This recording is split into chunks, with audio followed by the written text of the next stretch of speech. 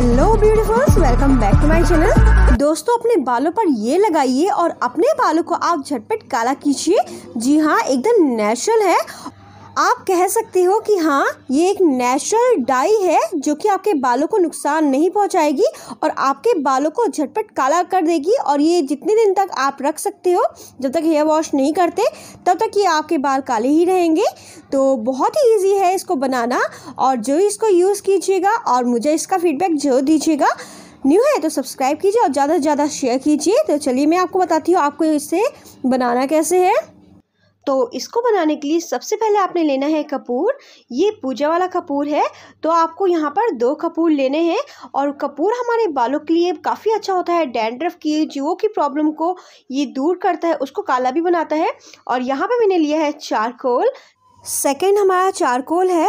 ये जो कोकोनट के शेल्स होते हैं, उसके छिलकों को आप जला लीजिए लोहे की कढ़ाई में और उसको अच्छी तरह से पीस लीजिए, दबाते हुए करोगे आप, ये आराम से पाउडर इसका रेडी हो जाएगा। बहुत ही ईजिली बन जाता है, नहीं तो आप चारकोल पाउडर जो आता है मार्केट वाला वो भी कर सकते हो। वैसे ये वाला उससे ज़्यादा अच्छा है नेचुरल है और बेस्ट है। और बस इसको जला देना है। वैसे तो कोकोनट हमारे बालों के लिए काफ़ी अच्छा होता ही होता है। हमारे स्किन के लिए, बालों के लिए नेचुरल वे से ये वर्क करता है। तो आपने बस उसके छिलकों को भी यूज़ करना है, वो भी बहुत ही अच्छे होते हैं।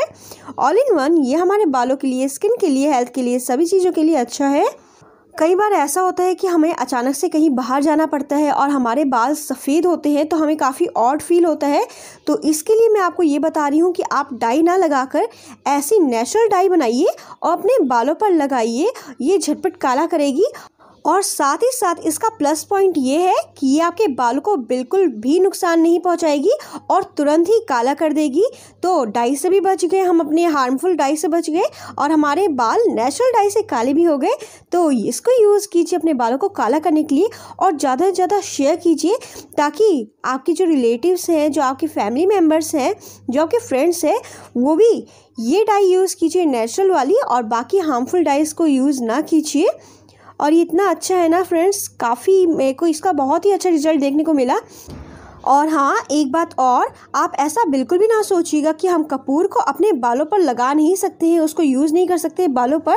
अगर आपको कोई भी डाउट है ना तो आप जस्ट गूगल में जाइए और उसको चेक कीजिए। आपके सारे डाउट्स सॉल्व हो जाएँगे।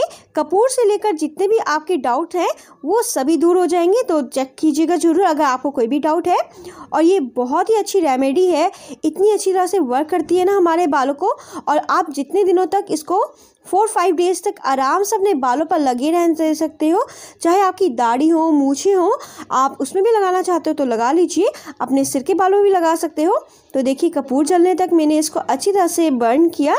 आपने स्टील की कटोरी में ये यूज़ करना है। कांच की में मत कीजिएगा क्योंकि वो टूटने का डर रहता है। तो इसलिए मैंने इसमें किया और बस इसको जलाना है। और इसको थोड़ा ठंडा कर लीजिएगा, क्योंकि गर्म चीज़ तो हम अपने बालों पर लगाएँगे नहीं ना। तो वैसे भी अगर आप जब तक इसको रेडी करोगे, तब तक ये पाउडर है तो तुरंत ठंडा हो जाता है।